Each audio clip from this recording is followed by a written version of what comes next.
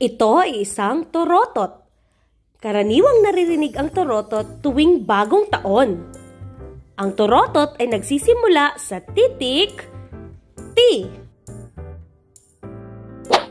Mga bata, ngayong araw na ito ay pag-aaralan natin ang titik T na may tunog na ta, kasama ang mga pantig na ta,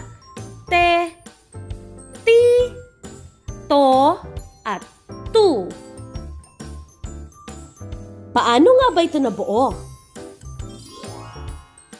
Kapag pinagsama mo ang tunog na ta at a ay magiging ta. Kapag pinagsama mo ang tunog na ta at e ay magiging te.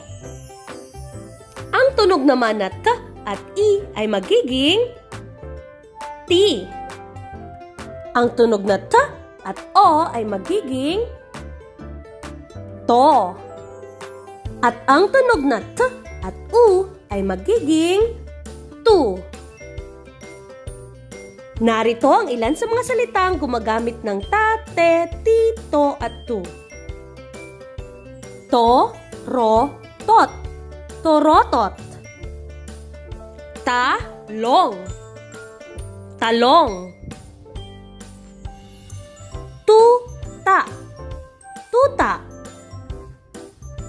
Tore.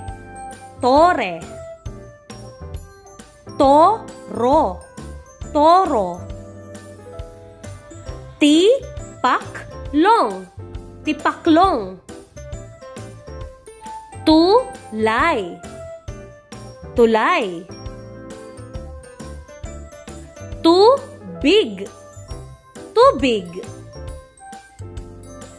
Tinidor tinidor.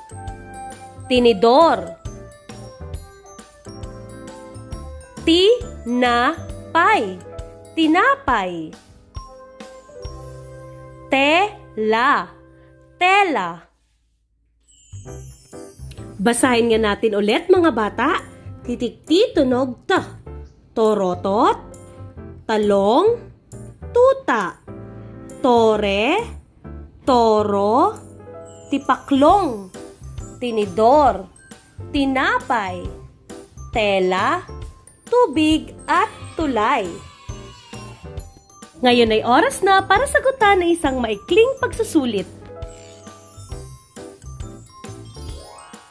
Ano ang panimulang pantig ng salitang talong? Tama! Ta! Ano ang panimulang pantig ng salitang turotot? Tama! Ano ang panimulang pantig ng salitang tela? Mahusay, te. Ano ang tawag sa larawang ito? Tubig o tulay? Tama, tubig. Ano ang tawag sa larawang ito? Tinidor o tinapay? Tama, tinapay. Ano naman ang larawang ito? Toro o tore? Mahusay, tore. Mahusay mga bata! Ngayon ay oras na para kunin ang iyong mga aklat at subukan mo na ang sagutan ang mga katanungan doon. Paalam!